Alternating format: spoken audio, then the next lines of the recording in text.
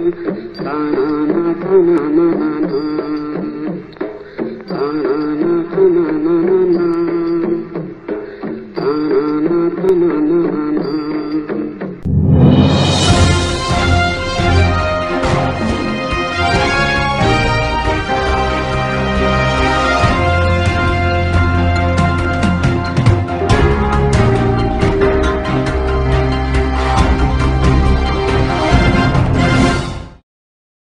నమస్కారం. బతుకమ్మ సమాచారానికి స్వాగతం.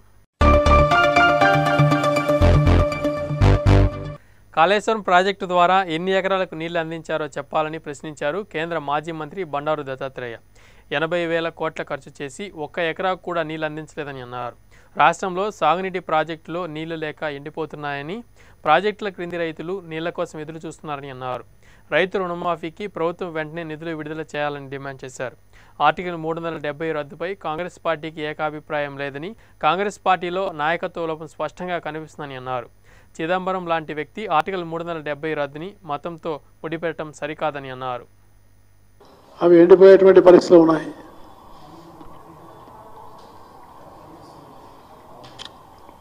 మరోవైపున మన గౌరవ ముఖ్యమంత్రి చంద్రశేఖరరావు గారు కాళేశ్వరం నీళ్ళు అదిగో వచ్చినాయి ఎరుగో వచ్చినాయని ఆయన ఊరు ఆయన ఆయన మాటలతోటి ఊరిస్తూ ఉన్నాడు. ఇప్పటి వరకు మేడిగడ్డ నుండి అంటే మేడిగడ్డ అన్నారం సొందుల్ల ఎల్లపల్లి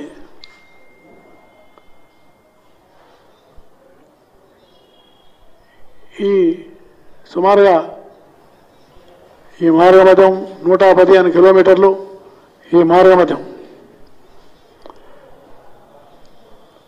నేను ముఖ్యమంత్రి గారిని అడిగేది ఒకటే ఒకటి. మీరు ఎన్ని ఎకరాలకు నీళ్ళు అందించరు? ఈ నూట పదిహేను కిలోమీటర్ల యొక్క ఈ పొడవునా వెళ్తున్నటువంటి ఒక మేడిగడ్డ నుండి మరియు ఈ యొక్క ముఖ్యమంత్రి గారు దీన్ని బహిర్గతం చేయాలి. ఎందుకంటే ఈ నూట పదిహేను కిలోమీటర్లు రామగుండం పెద్దపల్లి ధర్మపురి జగిత్యాల చెప్పదండి ఈ ఐదు అసెంబ్లీ ఏరియాలు వస్తాయి. మరి ఈ ప్రాంతం నుంచి ఈ ప్రాంతం నుంచి నీరు వెళ్తున్నప్పుడు కాలు ఈ ఆ ప్రాంతం నుంచి నీరు వెళ్తున్నప్పుడు ఆ ప్రాంత ప్రజలకు నీరు రావడం లేదని అక్కడ రైతాంగం వాళ్ళు ఆందోళన చేస్తున్నారు. కానీ ముఖ్యమంత్రి గారు మాత్రం ఆయన వారానికోసారి నెలకోసారి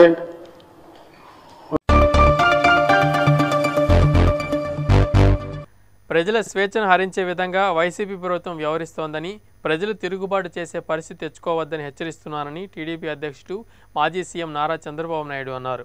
మంగళవారం విజయవాడలో జరిగిన టీడీపీ సర్వసభ్య సమావేశంలో ఆయన మాట్లాడుతూ తెలంగాణ నుంచి శ్రీశైలానికి గోదావరి నీళ్ళు తీసుకువెళ్తామంటం అన్యాయమని జగన్ కేసీఆర్లు ఆంధ్రాకు అన్యాయం చేసే ఆలోచన చేస్తున్నారని చంద్రబాబు ఆరోపించారు.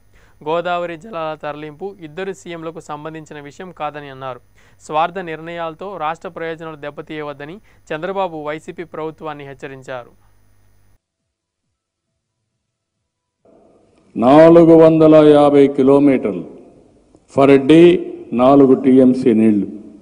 ఆ నాలుగు వందల యాభై కిలోమీటర్లు పక్కన నీళ్ళు పోతా ఉంటే ఆ పొలాలు పారకుండా నీళ్ళు పంపించే పరిస్థితిలో ఉండరు. ఈరోజు ఆంధ్ర తెలంగాణ ఉద్యమం జరిగిందే దానికి కారణం. మీరు ఒకసారి చూస్తే నీటి కోసరం నిధుల కోసరం నియామక నియామకాల కోసమే జరిగింది. ఆ రోజు ఇలాంటి పరిస్థితి వస్తే ఈరోజు మళ్ళీ మీరు కావాలని మేము ఇద్దరం రెండు- ఇద్దరు ముఖ్యమంత్రులు అనుకొని మేము చేసేస్తామనే పరిస్థితికి వచ్చారు. ఇద్దరు ము- ప్రజాస్వామ్యంలో ఇద్దరు ముఖ్యమంత్రులు ముఖ్యం కాదు. శాశ్వతం కూడా కాదు. ఆ విషయం మీరు గుర్తుపెట్టుకోవాల్సిన అవసరం ఉంది. దీన్ని మనం కంట్రోల్ చేయాల్సిన బాధ్యత మనందరి పైన ఉంది. ఇక్కడ ప్రధానంగా రెండు మూడు విషయాలు మీరు గుర్తుపెట్టుకుంటే ఈయన ఉండే ఉద్యోగాలన్నీ తీసేసి రాజీనామాలు చేసి వేళ కార్యకర్తలకు ఇచ్చుకోవడం. రెండోది ఉండే కాంట్రాక్ట్లో ఉండే ఉద్యోగాలందరినీ తీసేసి విలేజ్ సెక్రటరియట్ పేరుతో వీళ్ళ మనుషులకు మళ్ళా ఉద్యోగాలు ఇచ్చుకోవడం. ఈ రెండు కూడా దుర్మార్గమైన కార్యక్రమం.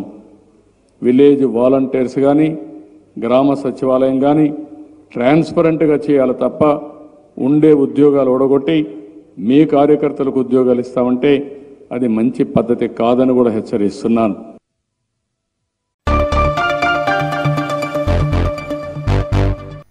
ఓవైపు భారీగా పోలీసుల మోహరింపుతో ఉద్రిక్త పరిస్థితులు నెలకొన్న సమయంలో జనసేన ఎమ్మెల్యే రాపాక వరప్రసాద్ పోలీస్ స్టేషన్లో లొంగిపోయారు. తూర్పుగోదావరి జిల్లా రాజోలు పిఎస్కు వెళ్ళిన ఆయన ఏలూరు రేంజ్ టీఐజీ ఖాన్ సమక్షంలో లొంగిపోయారు.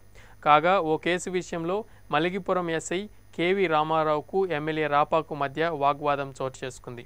ఎమ్మెల్యేకు మద్దతుగా జనసేన కార్యకర్తలు ఆందోళనకు దిగటంతో ఉద్రిక్తత నెలకొంది. రాపాక అనుచరులు పోలీస్ స్టేషన్ను ధ్వంసం చేయటాన్ని పోలీసులు సీరియస్గా తీసుకున్నారు. రాపాక వరప్రసాద్పై కేసు బుక్ చేశారు. పిఎస్పై దాడి కేసులో ఎమ్మెల్యే రాపాకను ఏ వన్గా చేర్చారు పోలీసులు? దీంతో ఏ క్షణంలోనైనా ఆయన్ను అరెస్ట్ చేస్తారనే ప్రచారం కూడా సాగింది. ముందస్తు చర్యగా పోలీసులను కూడా మోహరించారు. ఈ నేపథ్యంలో ఎమ్మెల్యే రాపాక వరప్రసాదే పిఎస్కు వెళ్ళి లొంగిపోయారు.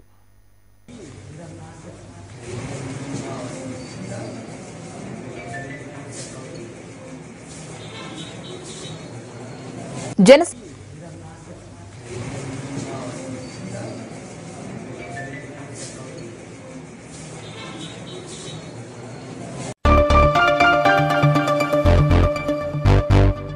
దివంగత సినీ నటి శ్రీదేవి కుమార్తె బాలీవుడ్ హీరోయిన్ జాన్వీ కపూర్ తిరుమల శ్రీవారిని దర్శించుకున్నారు. శ్రీదేవి జయంతిని పురస్కరించుకొని జాన్వి శ్రీవారి సేవలో పాల్గొన్నారు.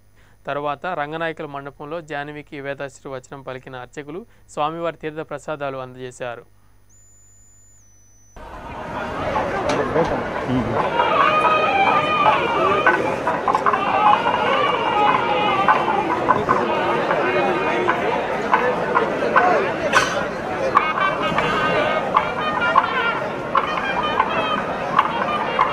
మేడం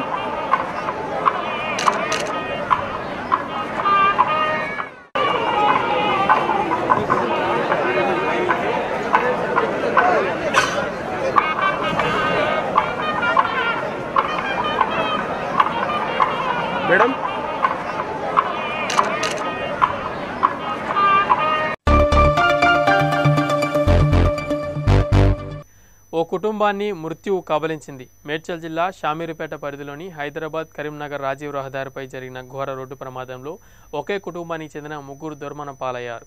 వేగంగా వస్తున్న కారు డివైడర్ను ఢీకొని మరో కారుపై దూసుకెళ్ళింది. ఈ ప్రమాదంలో మరో ఇద్దరు తీవ్రంగా గాయపడ్డారు. గాయపడిన వారి పరిస్థితి విషమంగా ఉంది. మృతులను నాగోలుకు చెందిన భాజపా నాయకుడు కోసూరి కిషోర్ చారి అతని భార్య కుమారుడిగా గుర్తించారు.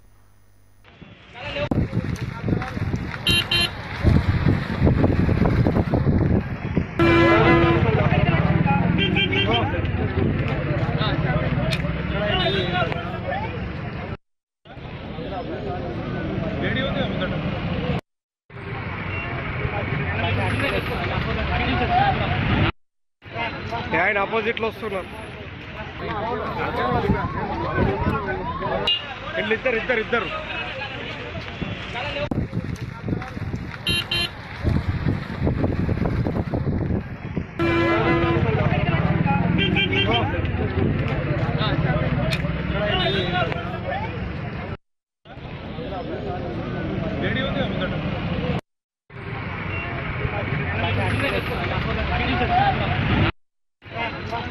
ఆయన వస్తున్నారు ఇద్దరు ఇద్దరు ఇద్దరు.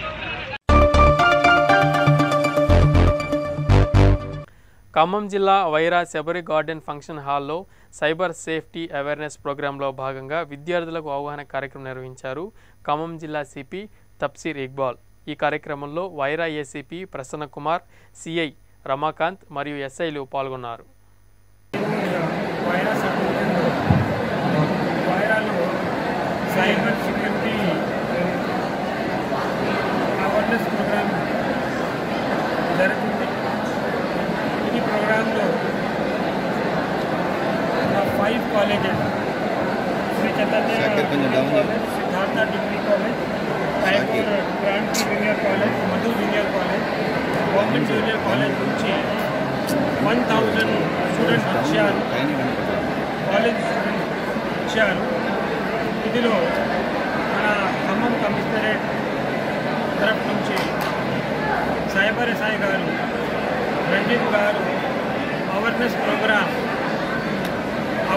క్లాస్ ఈపీటీ మాధ్యమంలో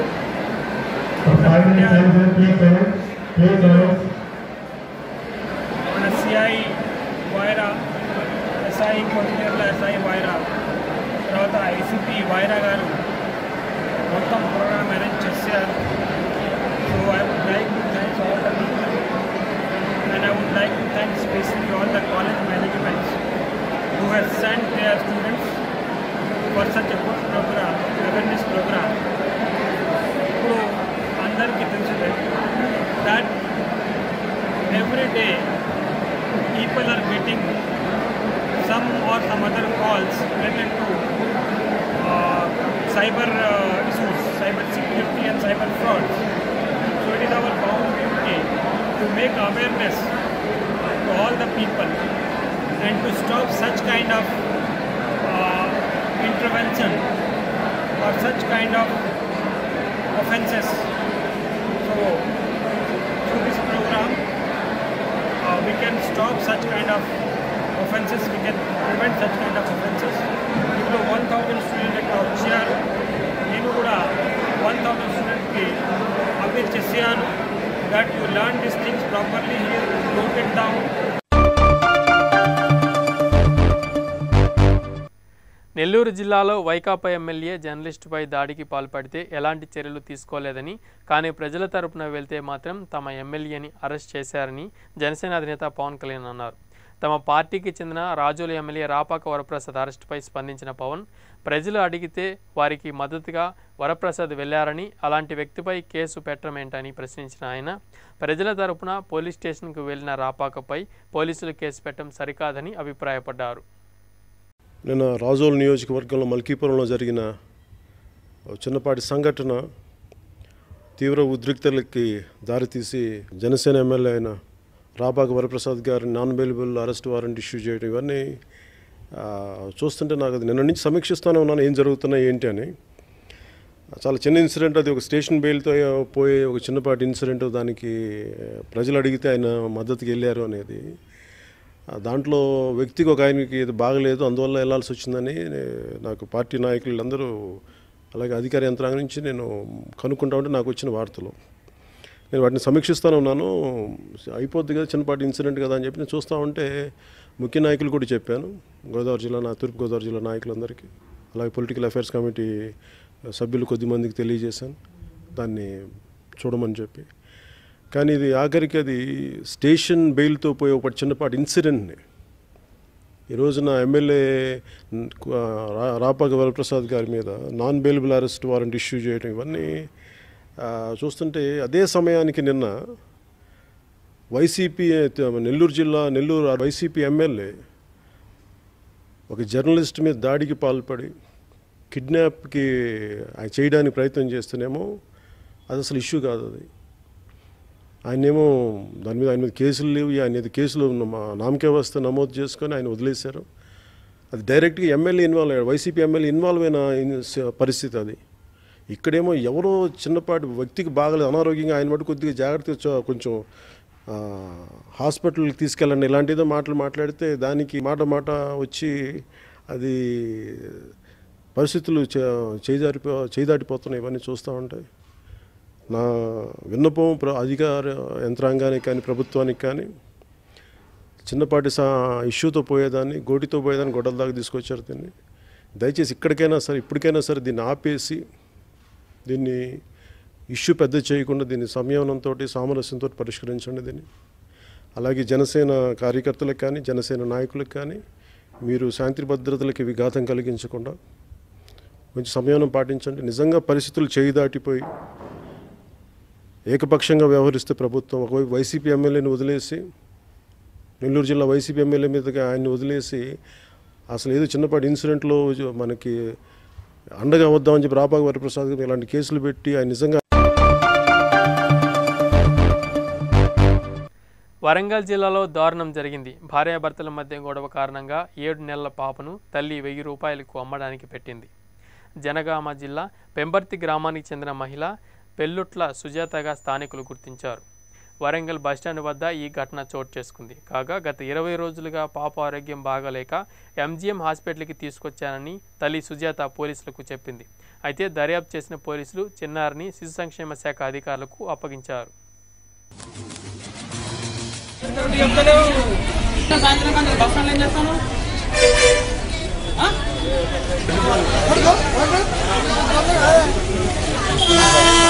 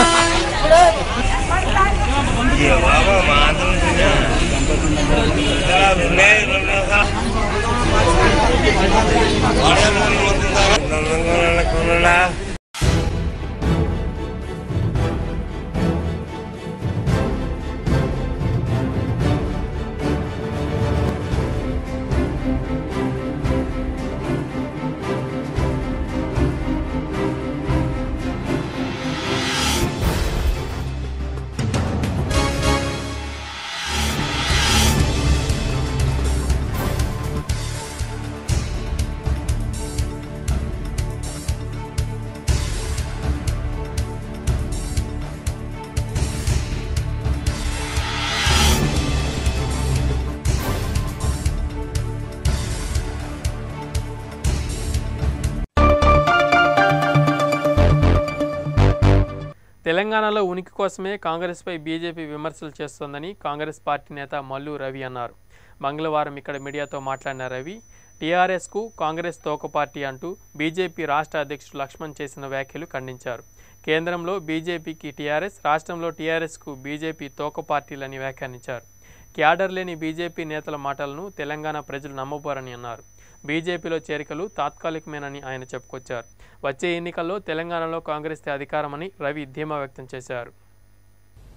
మేమే వస్తాం మేమే వస్తాం అంటే ఎవరైనా మేమే వస్తాం మేమే వస్తాం అని పని చేసుకోవచ్చు కానీ వాస్తవ పరిస్థితులకి మీరు మాట్లాడేదానికి ఆకాశానికి భూమికి ఉన్నంత తేడా కనపడుతుంది. కాంగ్రెస్ పార్టీ టిఆర్ఎస్ పార్టీకి టోక పార్టీ అని నిన్న స్టేట్మెంట్ ఇచ్చారు. జర్మనీలో హిట్లర్ పరిపాలించేటప్పుడు గోబెల్ అనేటటువంటి ఒక మంత్రిని ప్రత్యేకంగా నియమించి హిట్లర్ గారు అబద్ధాలని పదిసార్లు వంద సార్లు చెప్తే ప్రజలు నమ్ముతారనేటటువంటి ఒక సిద్ధాంతాన్ని పునాదిగా చేసుకుని గోబెల్ని నియమించాడు మంత్రిగా ఆయన పని హిట్లర్ ఓడిపోతే కూడా గెలిచాడని చెప్పటం హిట్లర్ తూర్పు పోతుంటే పడమర పోతున్నారని చెప్పటం పడమర పోతుంటే ఉత్తరం పోతున్నారని చెప్పటం అన్ని అబద్ధాలని ప్రజలు నమ్మే విధంగా ఆయన ఆయనతో పాటు కొందరు ఒకే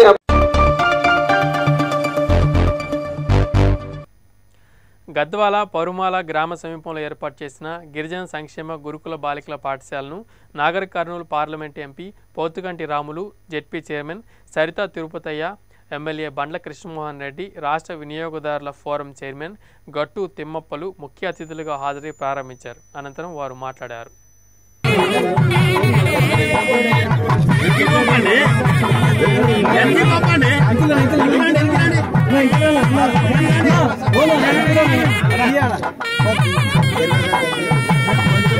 ఇంగ్లీష్ అంటే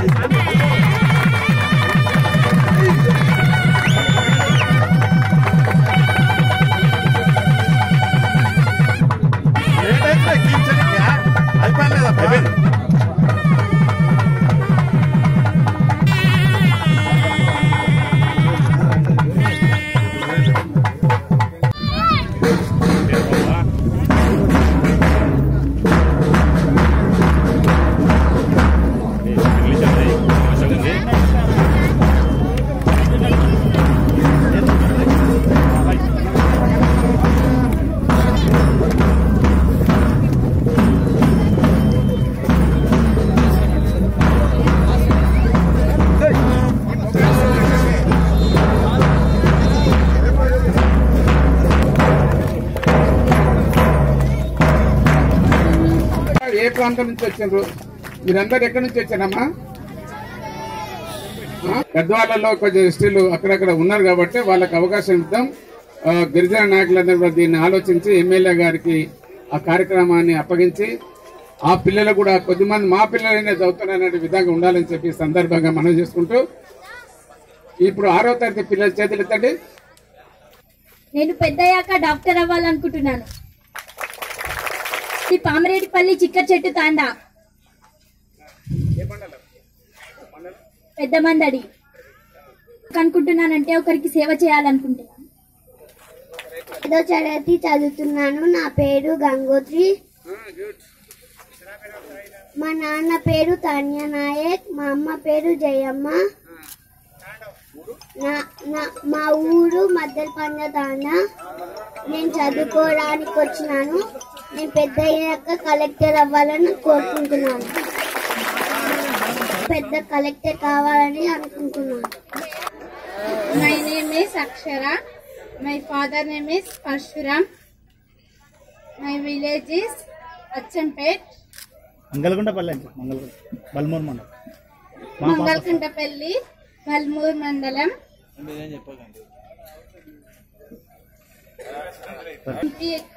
కావడం. కావడం.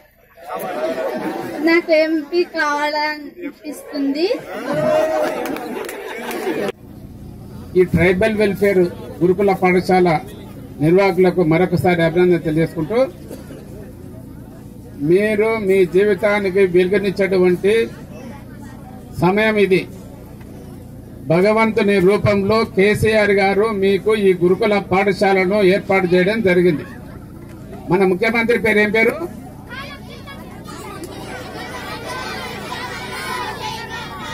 ఏం పేరు? మెదక్ జిల్లా పాపనపేట మండలంలోని కొత్తపల్లి గ్రామంలో ఈరోజు పద్మాదేవేందర్ రెడ్డి హరితహారం కార్యక్రమంలో భాగంగా మొక్కలు నాటడం జరిగింది. అనంతరం గ్రామంలో ఉన్న స్థానికులకు చెత్త బుట్టలు అందించడం జరిగింది. షాదీ ముబారక్ ద్వారా మండలంలోని నలభై ఏడు మందికి చెక్కులు అందించారు.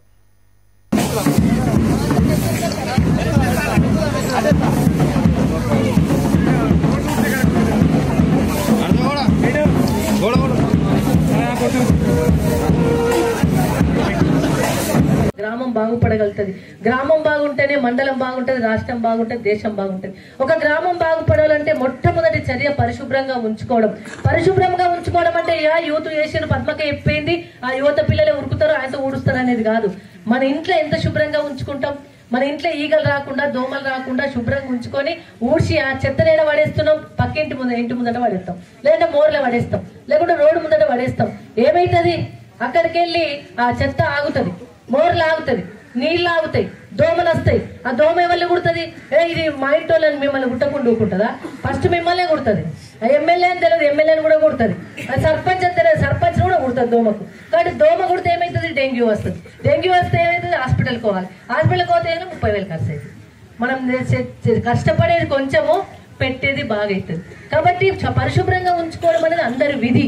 ఒక్కరి మీద పడేయకుండా అందరు కలిసి గ్రామాన్ని పరిశుభ్రంగా ఉంచుకోవాలి. మన పరిసరాలు చంద్రకళ. కోతుల సాయమ్మ. మధ్యల భాగ్య. మిగిలిన వాళ్ళకే కాకుండా గ్రామ పంచాయతీ కార్యాలయంలో మిగిలినవి కూడా ఉన్నాయి. వాళ్ళందరూ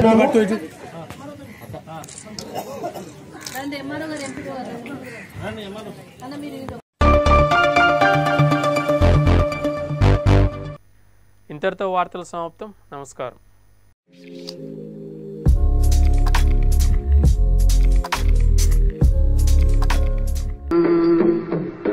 na na na na na